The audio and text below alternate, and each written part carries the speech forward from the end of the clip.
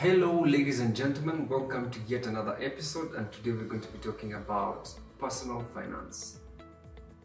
So, guys, have you ever wondered why we men work so hard and yet remain broke? It is the financial discipline that will keep and determine how broke or wealthy we become. So, we need to consider this proper financial planning. What do I mean? Budget thyself. I go by a rule of only saving 10% of any amount that I receive, be it a huge amount or a small amount. This will create a discipline where you always save money, no matter how big or small the amount is. And within time, you'll see that your finances are actually going up.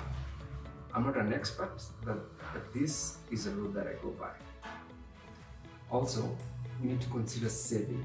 Saving any amount of coin or money is very crucial. We say that when it comes to time is money and every buck that is saved goes into a good investment. We also need to consider good debts.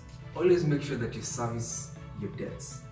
Make sure that you have taken any debt, that you always pay something small so that it can go a long way into giving you a good credit score.